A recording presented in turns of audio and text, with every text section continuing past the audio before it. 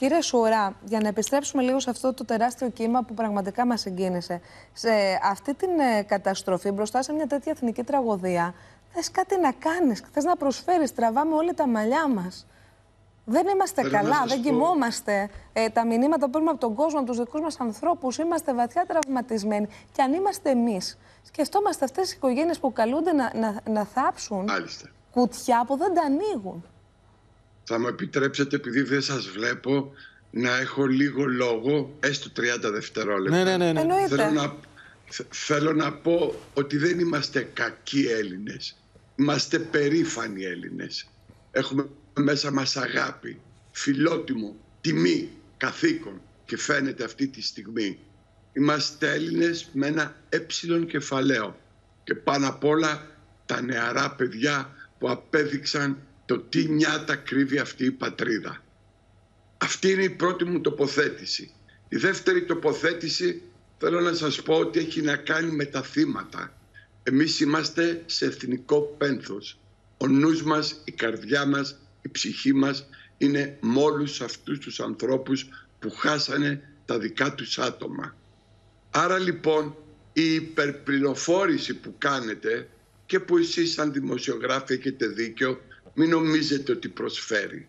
Ξέρετε τι θα προσφέρει; Μια τεράστια αγκαλιά συμπαράστασης και από την πολιτεία αλλά και από εμά. και δεύτερον τέσσερις λέξεις ευθύνη ποιος παίρνει την ευθύνη ή ποιοι παίρνουν την ευθύνη, δικαιοσύνη, τιμωρία. Και συγγνώμη κύριε Σούρα, και μια συγγνώμη μέσα σε αυτό. Και μια συγγνώμη. Καλά, αυτό είναι κάτι το οποίο θα το συζητήσουμε κάποια άλλη στιγμή.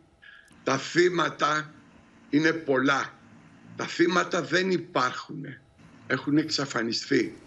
Οι άνθρωποι που μίλησαν και που έχασαν τους δικούς τους ανθρώπους είναι πάρα πολύ πληγωμένοι.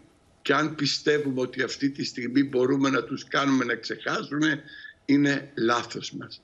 Εκείνο που μπορούμε να κάνουμε είναι να συμπαρασταθούμε όσο μπορεί και όποιος μπορεί ο καθένας. Είμαστε σε εθνικό πένθος. Οι κοκορομαχίες, οι πολιτικές, όχι μόνο δεν προσφέρουν τίποτα, αλλά εκνευρίζουν, μας εκνευρίζουν, μας θυμώνουν και μας κάνουν να αισθανόμαστε ακόμη χειρότερα. Γιατί... Θέλουμε λύση.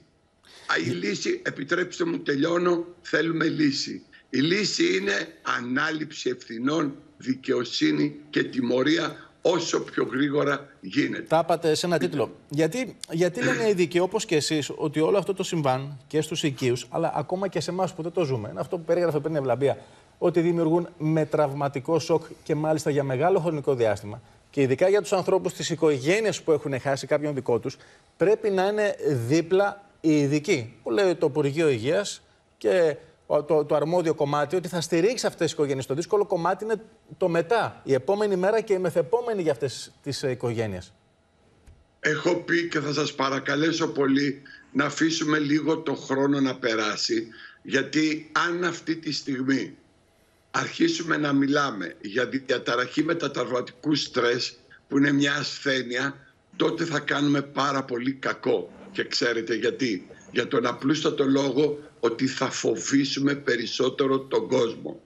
Ο κόσμος αυτή τη στιγμή πενθεί. Οι ειδικοί είμαστε δίπλα. Αν υπάρξουν προβλήματα θα απευθυνθούν στους ειδικούς. Αυτή τη στιγμή όμως ελάτε στη θέση ενός ειδικού, ειδικού και πείτε μου τι θα απαντήσει στο τηλεφώνημα της κυρίας που έγινε χτες 7 η ώρα το πρωί και έλεγε θέλω πίσω το παιδί μου, θέλω πίσω το παιδί μου, θέλω πίσω το παιδί μου. Δεν θέλω τίποτα άλλο, θέλω πίσω το παιδί μου και θέλω να μπορέσω αν δεν είναι ζωντανό να το ακουμπήσω. Πείτε μου την απάντηση. Πείτε μου την απάντηση. Όχι σαν ψυχίατρος, ούτε σαν ψυχολόγος. Σαν άνθρωπος. Δεν υπάρχει απάντηση γιατί δεν υπάρχει παιδί. Καταλαβαίνετε σε τι κατάσταση βρισκόμαστε. Αν αρχίσουμε λοιπόν τώρα και αρχίσουμε και ο καθένας από εμά βγάλει τις επιστημονικές του γνώσεις και τις καταθέτεις στις τηλεοράσεις θα δημιουργήσουμε έναν πανικό και σιγά σιγά θα κάνουμε τους ανθρώπους να φοβηθούν περισσότερο. Μήπως η σιωπή βοηθάει λίγο περισσότερο από αυτά που λέμε; Έχετε Είμαστε σε εθνικό πένθος. Κύριε Σουρά, θέλω να μας μιλήσετε λίγο και για το θυμό και για την οργή και την αγανάκτηση που νομίζω είναι συναισθήματα που κανένας μας δεν θέλει να τα έχει, αλλά η αλήθεια είναι ότι τα έχουμε. Και νιώθουμε μεγάλο είναι θυμό, και νιώθουμε μεγάλη αγανάκτηση Είναι ενστικτόδη αυτά. Είναι, είναι, ο θυμός είναι ένα συνέστημα, πραγματικά έχετε δίκιο, ο οποίος πηγάζει σε ορισμένες καταστάσεις και φυσικά δεν είναι πάντα ο ίδιος. Υπάρχει ο θυμός, ο μεγάλος και ο μεγαλύτερος θυμός. Εξαρτάται από το τι δημιουργείται. Αυτή τη στιγμή όμως ο θυμός που υπάρχει σε όλους είναι ανακατεμένος με άλλα συναισθήματα. Είναι με τα συναισθήματα της αδικίας, είναι με τα συναισθήματα της στενοχώριας, της λύπης, της κατάθλιψης θα έλεγα. Πήγα προχτές στον Άσιο να δω ασθενείς βαρύτατους με καρδιακή ανεπάρκεια, πολύ βαριά ασθενείς και η πρώτη λέξη που μου είπαν αντί για καλημέρα είναι τι γίνεται γιατρέ με αυτή την τραγωδία. Είναι κάτι το ανίποτο, κάτι το πρωτόγνωρο. Ο θυμός που έχουμε μέσα μας περιμένει απαντήσεις και οι απαντήσεις δεν θα δοθούν από τα πολιτικά στασίδια. Θα δοθούν από τους ανθρώπους που έχουν γνώση και που θα αναλάβουν τις ευθύνες. Και όσο γρηγορότερα αναλάβουν τις ευθύνες, τόσο πιο τιμητικό θα είναι για αυτούς. Αλλά και, Εμείς περιμένουμε... πολιτικοί έχουν ευθύνες και κυβερνώντες έχουν ευθύνες. Μα για αυτούς ε. μιλάω. Για αυτούς μιλάω. Αλλά να αναλάβουν τις ευθύνες. Ε, δεν βλέπετε τώρα, κύριε Σούρα, μπαλάκι ευθυνών ρίχνουν. Όχι, γιατί τότε που ήσασταν εσείς κυβέρνησης, εμείς αυτό. αυτό. Και δεν υπάρχει αυτό σιωπή. Είδα ότι γίνεται. Αυτό είδα ότι γίνεται. Εγώ εχθές και από το κανάλι σας και σε ένα άλλο κανάλι είχα τη μεγάλη μεγάλη τιμή και ευκαιρία να αγκαλιάσω και να σφίξω το χέρι ενός ήρωα, του Αντρέα και είδα ένα παιδί μάλαμα, ένα παιδί απίθανο, ένα παιδί ταπεινό που απελευθέρωσε δέκα συνεπιβάτες από αυτό το τρένο. Αυτοί είναι οι πραγματικοί ήρωες. Αυτά είναι τα πραγματικά νιάτα. Και επειδή τέτοιοι ήρωες και τέτοια νιάτα χαθήκανε, οι πολιτικές ευθύνες πρέπει να φανούν άμεσα όχι μέσα από διαξυφισμούς και αυτά τα νιάτα τα πάνω και κάτω από τη μέση. Και αυτά τα νιάτα που λέτε και αυτά έτρεξαν μαζί με μεγαλύτερους να πάνε να δώσουν αίμα. Αυτό που ο κύριος Κατσίβελας πριν και το τόνισε και η κυρία Παγώνη. Κυρία Παγώνη, θέλετε να προσθέσετε κάτι σε όλα αυτά που λέει ο κύριος Σουράς; Εγώ θέλω να πω, συμφωνώ απόλυτα, ότι η σιωπή αυτές τις μέρες είναι χρυσός. Πρέπει να σταματήσουμε να μιλάμε και δεν είναι ωραίο να φαίνονται αυτοί οι διαπληκτισμοί μεταξύ των πολιτικών. Πρέπει να σεβαστούμε αυτές τις οικογένειες. Για να δείξουμε σεβασμό δεν πρέπει να μιλάμε.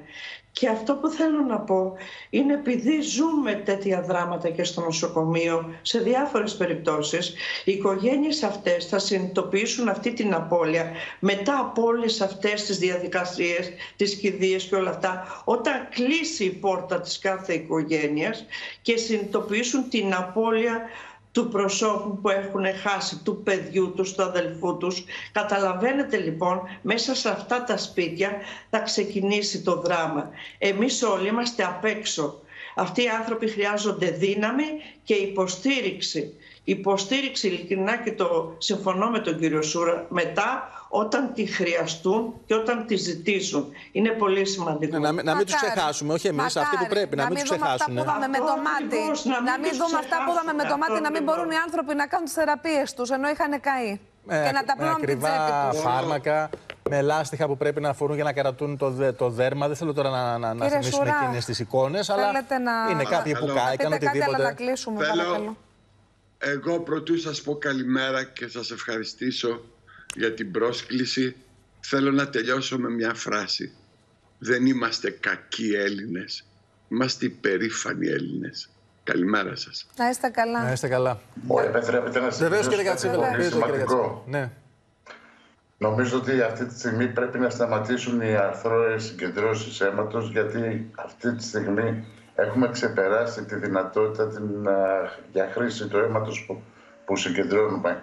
Αυτό το οποίο μπορεί να γίνει είναι σε ένα δεύτερο χρόνο και θα είναι πάρα πολύ σημαντικό για τη μνήμη των ανθρώπων να ξανακάνουμε αιμοδοσίες στη μνήμη των αδίκως τόσων υπέροχων ανθρώπων που χάθηκαν από αυτό το τραγικό γεγονός.